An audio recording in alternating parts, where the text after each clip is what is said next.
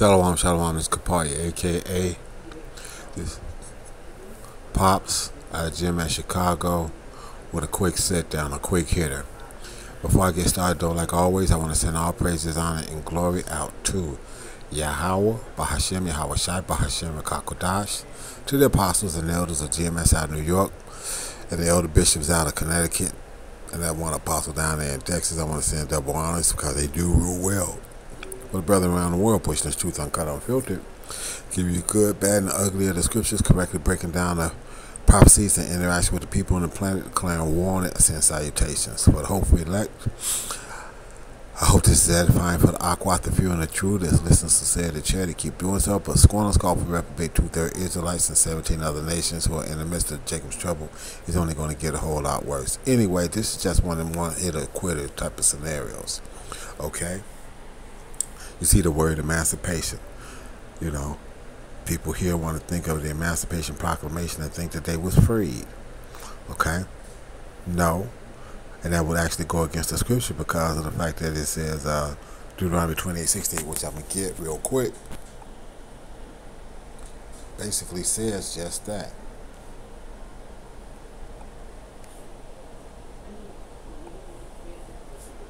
Make it real quick, make it real painless. Okay, this is Deuteronomy 28 6 8. It says, And Yahweh shall bring thee into Egypt again with ships by the way whereof I spake unto thee.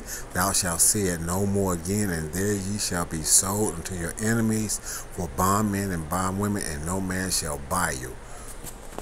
Buy you, redeem. Redeem. That's the word right there. I mean, pull you out of the slavery. We still here. We haven't been freed. And that Emancipation Proclamation was bullshit. So now let's go and prove that real quick. You see the word emancipation. Okay, if you look this up under one layer and whatnot, and because we tell you all the time that emancipation doesn't mean slavery, it means transference. You'd be like, man, I looked it up, man, and it came up this shit and blah, blah, blah, and y'all full of shit. Now, watch this real quick. I'm going to make this real quick and easy for you. Okay, you see that? The fact, the process of being set free from legal, social, political restrictions, liberation, emancipation of frivolous ideas. Okay, you see that? But what is a lot of the legal jargon? Okay, so, sorry about that, but yeah. So, like I said, looking at it for face value is what it is. But like I said, once you go into the the um, the um, Latin, which is what a lot of the laws and everything is written in as well, because of the fact of uh, the judicial system and things of this nature. Let's go over there and look that up. So go here in Latin it says this emancipation. Look at this word here, conveyance. Okay, emancipate, emancipato, emancipation, releasing, making over, making over, conveyance. Look up that word conveyance.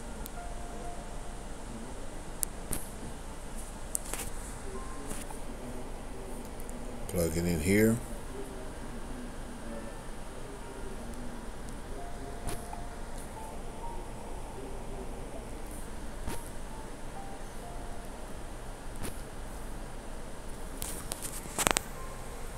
Conveyance, the action or process of transporting someone or something from one place to another. He was building vessels for the conveyance of live card law. What would I say? The law? Look at the law. The legal process of transferring property from one owner to another. Protective measures that might be taken before the conveyance is concluded. Transfer. Like we tell you all the time, emancipation means to transfer slavery for the so-called Negro, Latino, and Native American was transferred and whatnot from uh, by by Lincoln to go from hardcore slavery to to a uh, uh, uh, slave labor, slave wages, uh, pay for the for the convenience of the um, industrial revolution that was coming upon coming upon America at that time. So we've never been released. We still here. So that means this scripture is still in effect for these Edomites and all the other people that took part and and and, and benefited from it.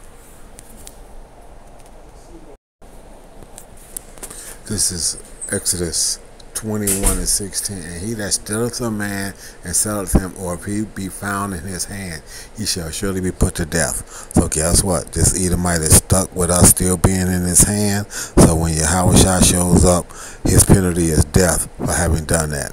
So that should be very exhilarating for you Israelites, the ones that know that they are awake uh, uh, uh, as they say, the hopeful elect, because, like I said, Uh, our Lord and Savior Yahweh Shai is coming back to liberate us and put the man that held us in captivity all this time to death. And the death, the ones that don't go into death go into hardcore slavery for a, a thousand hardcore years. So, with that being said, I want to send all praises, honor, and glory out to Yahweh, Ba'ashem Yahweh Shai, Ba'ashem Kakodash again to the apostles and elders of GMS on the different parts of America that they are in, you know, out in New York and down in Texas and, and the elder bishops in Connecticut. I send them honors because they do well.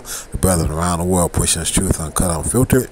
Give you good, bad, and ugly descriptions, correctly breaking down the prophecies and interaction with the people on the planet. Again, salutations, because we are declaring war on the planet.